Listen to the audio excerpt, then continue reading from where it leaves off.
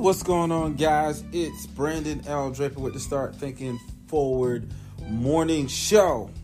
Wake up, wake up, wake up! All right, guys, so we got a very interesting show today.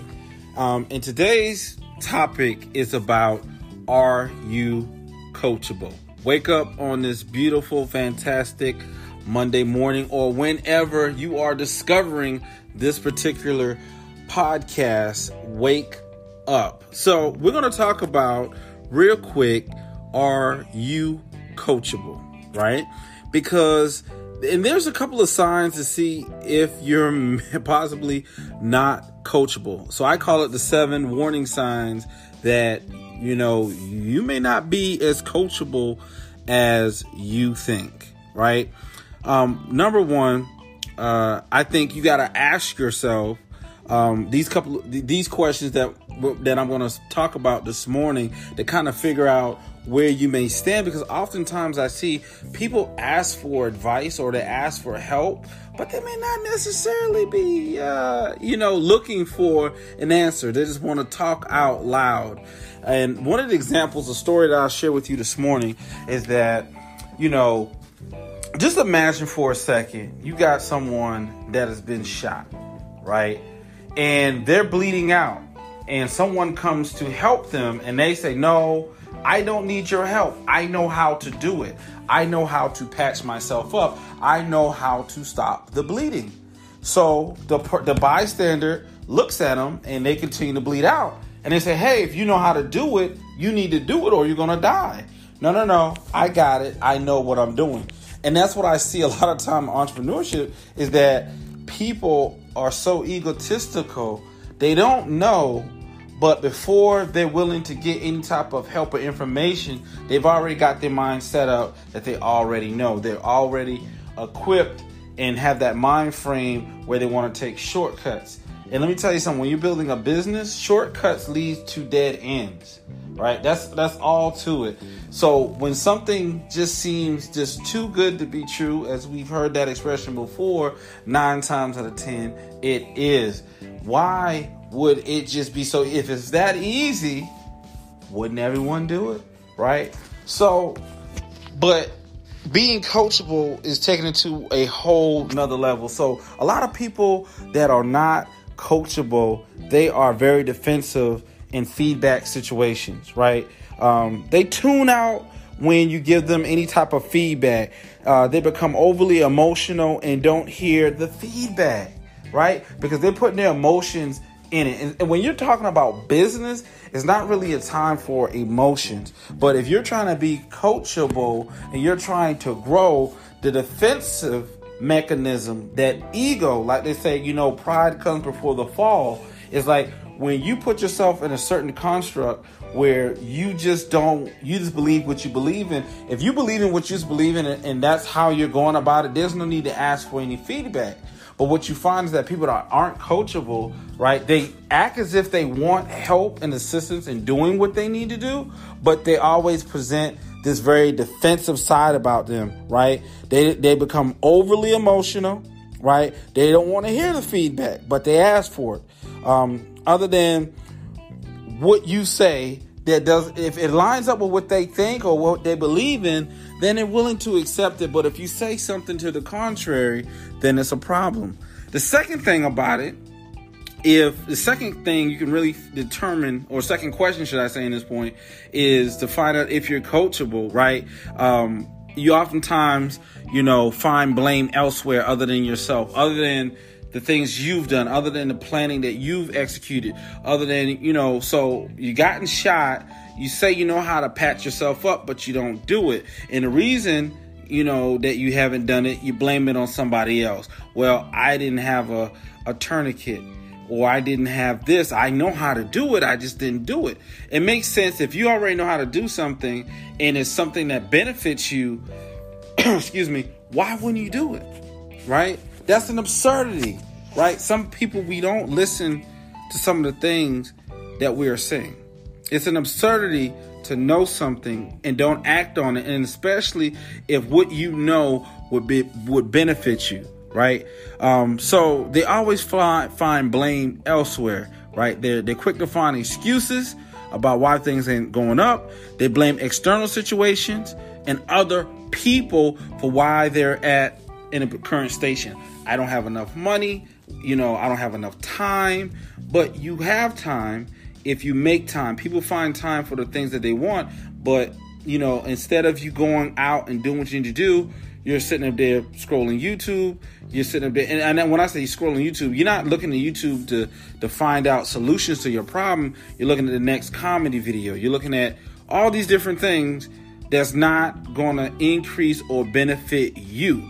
But then when things don't work your way and you got to do things you don't want to do in order to continue to fight, you know, it's everyone else's fault. It's not your fault. It's not that you weren't consistent. It's not that you are not willing to listen. It's not that you, you know what I'm saying? It's not that you're trying to get shortcuts instead of putting in the work that's required. Anything in life worth having is worth working for. If you think that there's just a shortcut to get there, man, get you a job. You know, continue doing what you're doing because if you think that you can just build something great and it's not going to take no energy or effort, like it doesn't even feel the same way.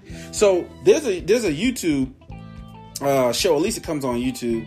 Um, it's called uh, Self Made Tastes Better, and they've interviewed countless people.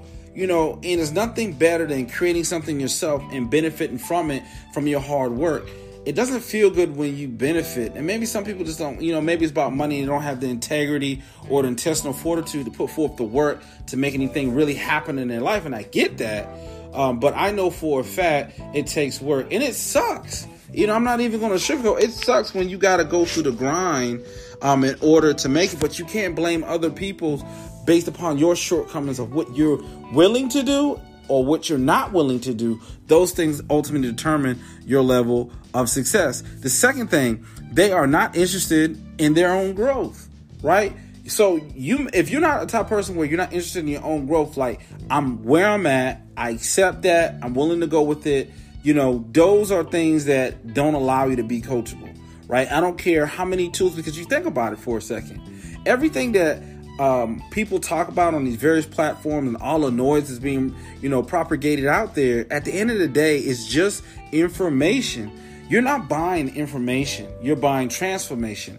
Your clients are buying, you're buying transformation. If you buy any of my products or services, you're not looking for information. You go on YouTube and get a bunch of information. You're looking at how that information and the delivery of that information, how it can make a transformation in you, ultimately allowing you to get a particular set of results. That is what the, the key component of it is. So, you know, do you uh, constantly try to grow your skill set. Now, and, and when I say skill set, is there's a whole multitude of skill sets depending on what you're doing and how you're trying to do. Some people don't possess emotional IQ, which is a skill set that you need in business. Meaning that, and we talked about it early when I talked about uh, allowing emotions to get in the mix. If you don't have emotional IQ, and every time someone says something to you that you don't like, you get overly emotional about it. See, this world doesn't care about your emotion. Business does not care about your emotions. Either you're going to do it or you're not. Either you're going to plant the seeds or you're not. So the farmer getting upset and not planting the seeds is not going to do anything. So if you don't never plant, if you're the farmer you know how to plant the seeds, right? You say you know how to plant the seeds, but you never plant the seeds. No one cares that the farmer got upset and didn't plant the seed. That we just know that seed is not going to yield a what? A harvest. Because for whatever reason, he knew what to do, he just didn't do it. So there's no harvest in that, right? So you got to be willing to invest in your growth, whatever that may be emotional IQ, right? Uh, learning marketing, whatever skill set that you need in order to be effective in your business, you got to acquire those skills. So if you're the type of person that's not willing, right, not interested in your own growth, it's going to be hard for you to be an entrepreneur. It's going to be hard for you to move your life forward. Understand that. That's a that's a main key. And I'm trying to give you these jewels to carry in to the new year. Try to tra- make that transformation going on to 2020. It's very important. Very, very, very, very important. All right. Um, the next thing uh, are you uh, unwilling to be vulnerable? Some people are just so hard. They don't want no one to know that they may not know something, that they may not have all the skill sets, you know, to be able to do it. To truly shift your behaviors and rebuild relationships, it requires a level of humility and vulnerability. You gotta be vulnerable, right? Um, are you secure enough to admit when you're wrong? Some people are, are just so headstrong they can never admit when they're wrong. They try to they try to overlook that. Well, no, let's focus on that situation. Let's talk about why you made that decision. Once again, it comes down to shortcuts, right? You it's think about it for a second. How crazy is it for you to, n- to not be consistent for four, five, six, seven, 10, 20 plus years? You've been greatly, greatly, greatly inconsistent with it, with building whatever it is you're building. Because you weren't consistent, you look in the horizon and you see other people, trailblazers that come in that same field and they're leading the pack. And now you're trying to figure out in your mind, how do you bridge the gap? How do you catch up with them? Well, you missed it five years ago when you when you weren't consistent. So now what you try to do is you try to implement these shortcuts.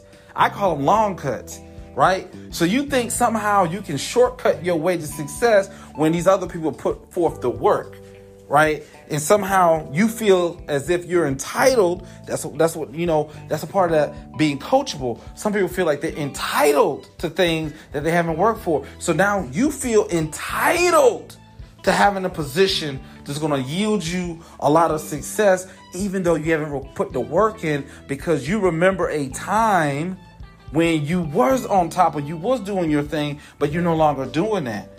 There, there's there's a um, a verse in, in, in the song uh, where he says that you know I've seen a lot of rich people, you know, and they look at their watches and they figured out where did it go, where did the success, where did all the the glam that they had? That was five, ten years ago right? But where are we at now? You say you know how to do it, you've done it before, but things are constantly changing. Have you changed your mindset? Have you changed your way of thinking about it?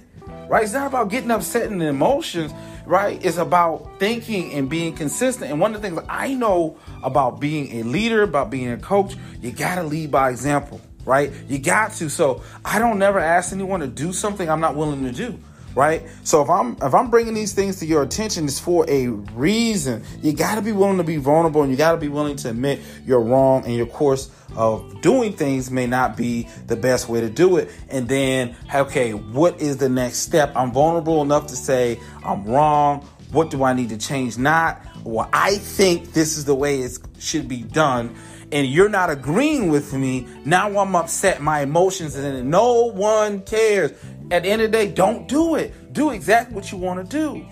Compare notes in a couple of years, right? Because if that nine to ten, these type of people, they've done that consistently, right? They started, they stopped, they find a shortcut, it works for a little bit, and they back at the same spot again. It's because they have not learned something. The lessons that were needed, they didn't learn, right? The next thing, are you open for new ways of looking at situations? Some people are fixed minded. Let me tell you, the information constantly changes. The information, you know, how to do one particular thing. If you started YouTube back in 2007 or you started Instagram back in 2007 or whatever the case may be, it's drastically different on the way in which how you may run a campaign or how you may upload video. It's drastically it's different as day and night from that from those amount of years that has passed by, right? So, but the one thing that does not change is what? Right? The, the one thing that doesn't change is the strategy. When I said this, uh, I think last week I made this mention. I said, look, when a builder, architect is erecting a building, structure, or whatever the case may be, right? We know for a fact there's one blueprint. Now, there may be a million ways on how to do it, but the structure itself has one plan, not multiple plans. Now, there may be different plans of actions, but it's only one plan.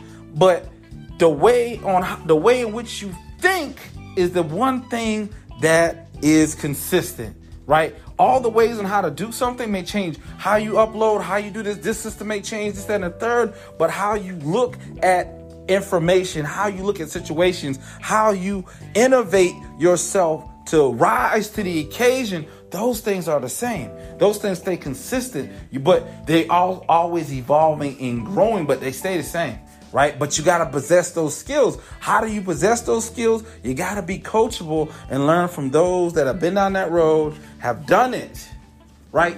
So we live in a society, no one cares what you say or what you think until they see what you've done. and, and that's just plain and simple. No one wants to. I'm I know me for for a fact. I'm not about to argue with someone that hasn't done it.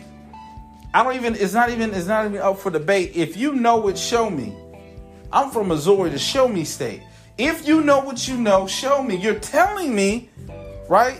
Documentation beats conversation. You can tell me all day what you've done, what you said you've done, how much you know, but show me how much you know through action, right? Through implementation. Because guess what? If you're a leader right now and you're doing, think about it like this whatever you're doing, your people's doing half of that. So if you're doing absolutely nothing, how can you ever get anyone else to come online with you? Right? Think about that for a minute. So you got to figure out new ways at looking at situations, right? Behaviors are driven by our beliefs. Period. Our behaviors are driven by our beliefs. So if we believe something and it goes and someone else says something that goes against that, we just totally tune them out. That's that part of that being non-coachable. You want help, you want people's advice, and then when they give it to you and it doesn't line up with what you want it to be, now the emotions comes in it and everything shuts down. Now you're wondering why you're still on ground zero, looking and saying what you know, but you haven't implemented. Right? All right. Next, are you willing to experiment quickly with new behaviors? Right? That's that part of that failing forward. Shut up and just do it. Right? If you believe someone else is wrong, then shut up. Don't ask them. If you just strongly, I know what I'm talking about, it works. Let me go ahead and do it and implement it. Fail quick. If, if it is, if, if maybe if, if they're telling you don't do it and it's wrong, you go ahead and do it and do it quickly, right?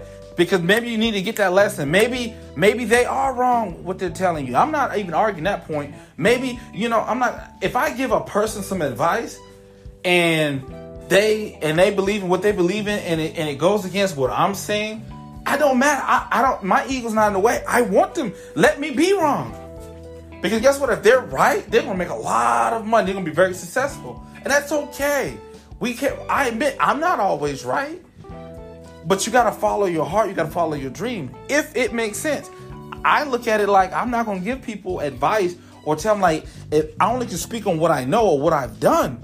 So if you ask me about something, I'm gonna give you my point of view. But maybe my point of view might be from a time and things have changed. Remember, things, the operation, you know, it constantly changes. But the mindset and how you look at things and how you strategize and the planning, those things stay the same, right? Because there's certain systematic things you got to have in place. So you got to be willing, right, to be able to experiment quickly with new behaviors, fail forward, fail fast. So you can move on to the next thing that, that, okay, that doesn't work. Okay, what does? Let me see what cutting edge technology, let me see what cutting edge training that I can obtain to be able to move to the next level. Right? Next thing, are you able to stay with the new behavior? So if you uh, if you establish something new, right? Are you able to be consistent with it? Once again, we go back to consistency because you can someone can give you the advice or coach you through something, you get it, right? But then you turn right back around and revert right back to the same old behavior that had your pockets full of lint, that had you not successful, that had you depressed, had you down, right? All these things are very important, right? When it comes to being coachable, and that's your level of success because you can't build a business by yourself. I don't care who you think you are. I don't care how much talent you. You cannot build a business by yourself. You got to be willing to make the shift and stay in the shift. Up, up shift, not, you know, up shift to three, then come back down to one because something doesn't, is not favorable for you. At the end of the day, it's about being consistent, it's about being coachable and being open up your horizon and not getting upset. Take in business and life is all in how you take in the information, right? If your system is built like a computer, think about it. If your system is built to read certain files, then you're able to download those files and you're able to get extract the information from those files. But if your computer, you, your mind is not updated, right? You're not you ain't got the latest update. Uh, files, certain files are foreign to you. So now when you get these foreign files, you're getting upset because you don't understand it. Right? No one's trying to tear like, you know, there's some people that just don't care. And I and I, and I get that. But people that care about you, that's there, that want to give you sound advice, want to help you so you can mature in your walk, the entrepreneurship, they're not trying to tear you down. They're trying to build you up. They're literally trying to build you up. So my question then is just because they say something and it does not necessarily line up with what you see or what you want, does not necessarily mean, right, that they don't know what they're talking about. I always have I always have to tell people this all the time. Just because I don't agree with you does not mean I don't understand you. I completely understand. I just don't agree with it. Right? That's my opinion. And, and it's okay because I've had mentors that have mentored me, and I had an idea or I had a particular strategy, and they thought it was not good. I got at the end of the day, it's your life, right? You have the option to do what you feel is right for your success. Period. So there's been times I was told that's not a smart thing to do. I still did it. Sometimes, right? I I lost the battle. I, I really did. Like they knew what they were talking about and you know they, they had a leg up and they told me not to do something. I was strong strong minded strong willed i went and did it and it was not successful. And the opposite side of that there's been times where i absolutely went against what my mentor said and it benefited me right? But at the same time those times when i did make those wins and i went against my uh, mentors that instructed me to do certain things. And check this out. I just didn't jump into something. It was preparation. I knew what I was looking at, and it didn't see the vision at the time. But more times than not, when I went against my mentors or people that I seek, you know, I sought advice from, I fell flat on my face when I went against what they were advising me. And, and, at the end of the day, it's a matter of not just finding someone to give you information, but people that's been down that same or similar role to you that's gonna give you sound advice. People don't want to see you succeed. People don't want to see you succeed. They want to see you succeed. They may not agree with you. They understand your point of view, but they don't necessarily agree with you. Understand the difference. There's a big difference uh, between that. You know, you gotta you gotta be willing to understand the difference. Hey guys, this is Brandon L. Draper with the Start Thinking Forward morning show. I hope today was packed full of some helpful tips um, and, and, and some points that you can take to kind of evaluate yourself to see if you're coachable or if you're a coach uh, or trainer or consultant, how you can kind of uh, look at people a little differently and know kind of what clients you're bringing on board and because I mean that determines the success of your operation. Um, because if you start getting a bunch of people where money is the biggest thing, and you start getting a bunch of clients that are not coachable, it's going to be hard for your firm, your company, um, your your practice to be able to to show any results, any case studies that what you're implementing actually works right? And then now you got these people here that's non-coachable, very upset with you because they're looking basically they're looking for something from you that they're not willing to accept. And as a result of that, no results, no transformation happens, right? So you got to be mindful as a coach consultant what type of people you're bringing on board that you're trying to get this training for. for. And then the second part of that um, is you as the individual entrepreneur, business person that if you look at yourself and you know for a fact you're not one of the ones that told a line per se when it comes to taking the information, taking in feedback, you can say, you know, maybe that's limiting your success. I don't know, you know, but I know that you have to, you know, be humble. You got to be vulnerable at times. You got to admit that you don't know in order to grow. Hey guys, want to reach out to us? Please reach out to www.pinnaclepointpublishing.com. Also visit us online at brandonldraper.com. That's again, that's www brandonldraper.com. Or you can check us out um, on Instagram at The Real Motivational King and also YouTube. Man, everything. This is a, follow us on everything. So when we put out new material, you be the first one uh, in the in to know exactly what's going on. We're at the cutting edge when it comes to building leaders and entrepreneurs for this coming future. There's a lot of trends and a lot of things going on, so we want to make sure that you plug into our community. And if you like this podcast, or if you've seen any of our videos and you like it, right? And you say, I love it. I want you to hit that share button, um, share it with some people. And also, I want you to go to patreon.com forward slash creators inner circle and be a part where you get first one of a kind content, locker room sessions where I'm just pouring into each and every one that's a contributor of that because we got a bigger plan to do some major things when it comes to entrepreneurship, but to be able to pour into you at a unparalleled level that's really going to push you. If you are coachable you're willing to learn you're willing to go to intensity. I've been to the bottom of this thing and i rose up. So you know i'm not going by a book that i read. I'm not talking about um, something someone told me this is real life situations and things that I've lived through every single day as a business owner, as an entrepreneur. So if you want the slight edge on what's going to take you, you or your business to the next level, you need to continue to tune in. This is not a joke. If you're real serious about it, this is the place you need to be every single day, tuning in to the intensity of what we bring to this platform. All right, guys, Brandon. Draper, Veterans of Motivational King. I will see you later. Subscribe, share this, and support the movement. And remember, it's never too late to start thinking forward.